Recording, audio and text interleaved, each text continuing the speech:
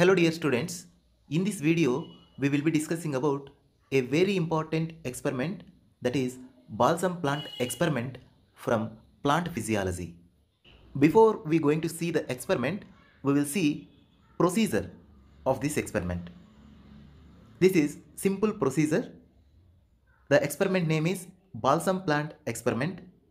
The main objective or aim of this experiment is to determine the experiment that xylem is the pathway of ascent of sap. We know that there are two conductive tissues in plants. One is xylem, another one is phloem. These two together called as complex tissues in plants. Here, the phloem, which is one of the complex tissues, it transport food materials. Whereas xylem, which is second type of complex tissue, which transport water in the plants. Here, with the help of this simple experiment, we are going to prove that water is transporting through xylem. This is our main aim or objective. For this, we need very few simple materials or requirements. The first requirement is a beaker. The second requirement is water. The third requirement is stain. Usually in this experiment, eosin stain will be used. But instead of one stain, in this experiment, we are going to use different stains. Number one is eosin, number two is safranin, number three is crystal violet. Means instead of one stain, we are going to use three different stain in the current experiment. Next, balsam plant with roots or even without roots also no problem. Means even we can take a twig of balsam plant or a total plant along with roots. But preferably it is better to choose white color balsam plant. Why we are using balsam plant here in this experiment means the balsam plant having transparent stem.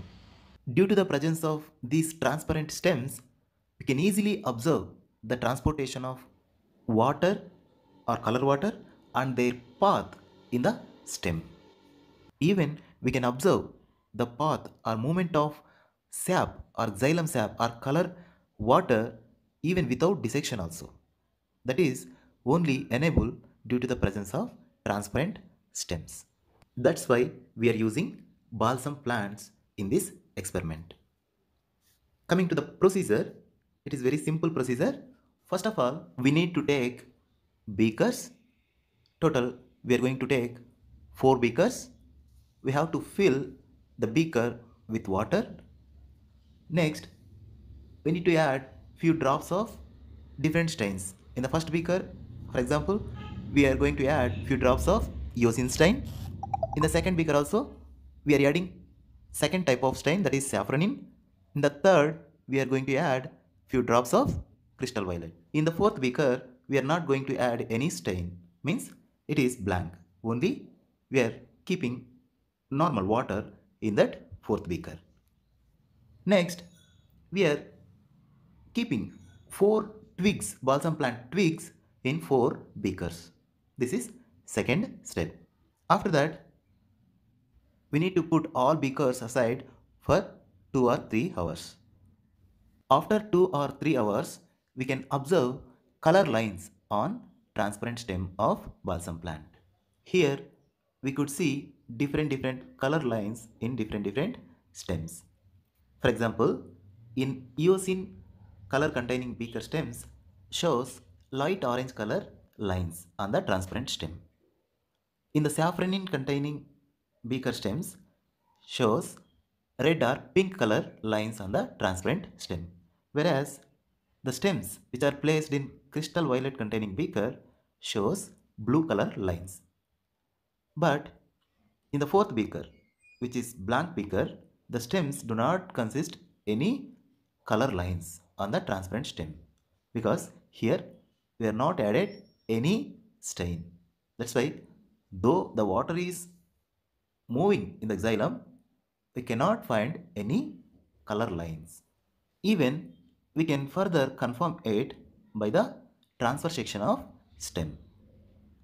Here with the help of blade we can dissect the stem and we can observe the slice under microscope where we can see clearly the transportation through the xylem means in the slice we can see the xylem is colored with the respective stain.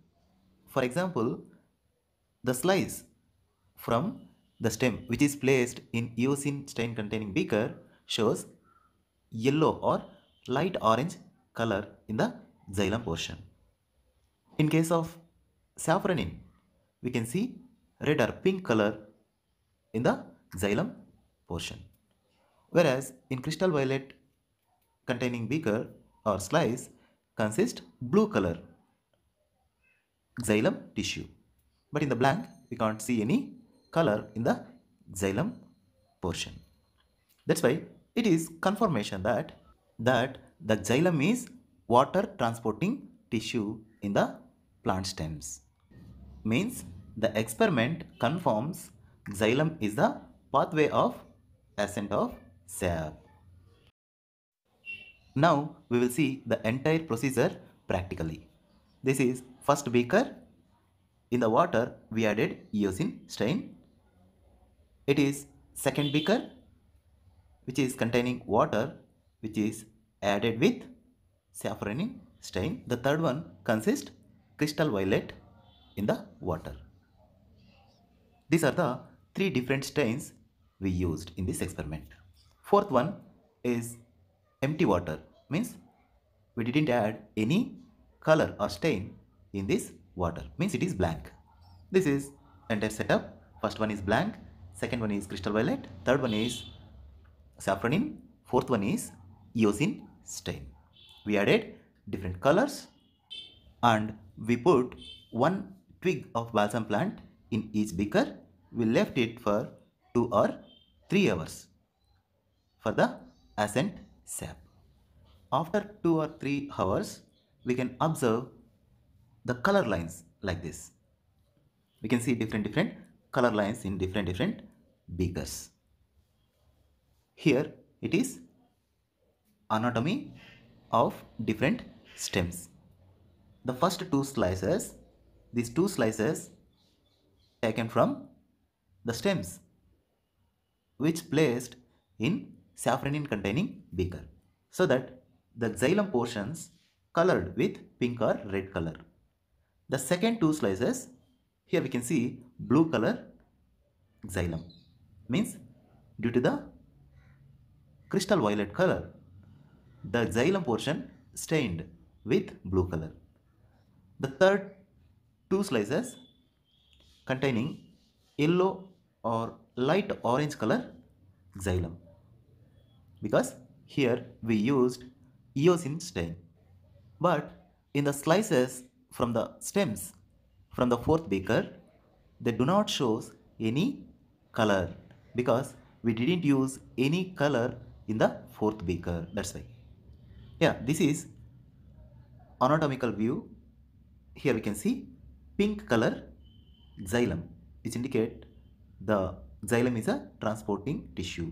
Here in this slide we can see light yellow color it is also it is indication that xylem is a transportation tissue. Here in this slide we can see blue color which indicates that the colored water crystal violet colored water moved or transported through xylem only. It is all about balsam plant experiment. It is a proof for that the xylem is a main complex tissue which is useful to the ascent of